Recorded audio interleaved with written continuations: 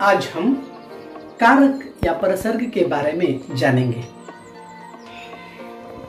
संज्ञा या सर्वनाम का क्रिया से सीधा संबंध करने वाले शब्दों को कारक कहते हैं। कारक आठ प्रकार के होते हैं। पहला है कर्ता कारक।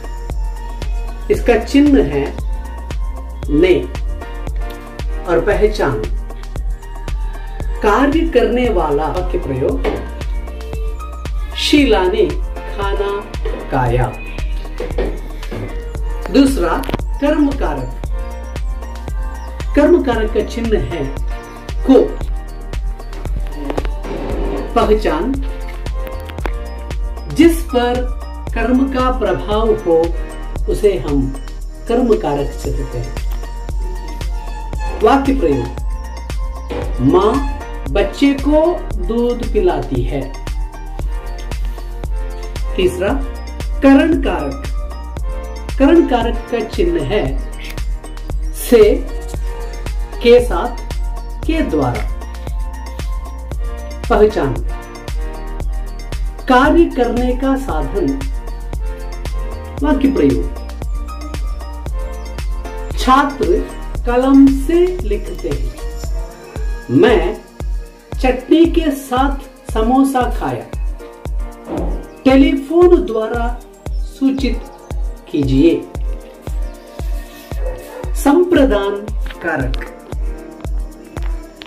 इसका चिन्ह है को के लिए। पहचान। जिसके लिए कार्य किया जाए, उसे हम संप्रदान कारक कहते हैं। वाक्य, मोहन ने रमेश को बुलाया। सैनिक देश के लिए लड़ते हैं। अपादान कारक। अपादान कारक का चिन्ह है से।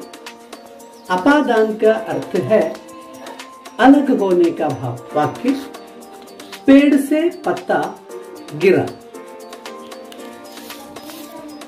संबंध कारक संबंध कारक का चिन्ह है का, के, की। पहचान। जो संबंध जुड़ता है, उसे संबंध कारक कहा जाता है। वाक्य प्रयोग। राजा का दरबार सजाया गया। यह किसान की गाड़ी है। वे मोहन के मित्र हैं। अधिकरण कारक। अधिकरण कारक का चिन्ह है में और पर। पहचान। जो कार्य का आधार हो, उसे हम अधिकरण कारक कहते हैं। वाक्य प्रयोग। गिलास में पानी है, घड़ी दीवार पर है। संबोधन कारक। चिन्ह है, अरे हे। पहचान। जिसे पुकार या सावधान किया जाए, उन शब्दों को हम संबोधन कारक कहते हैं। वाक्य प्रयोग। हे बच्चों, शोर मत करो। अरे बच्चों, मन लगाकर पढ़ो। इस तरह हम ए आठ कारकों को बहुत आसानी से सीख सकते हैं।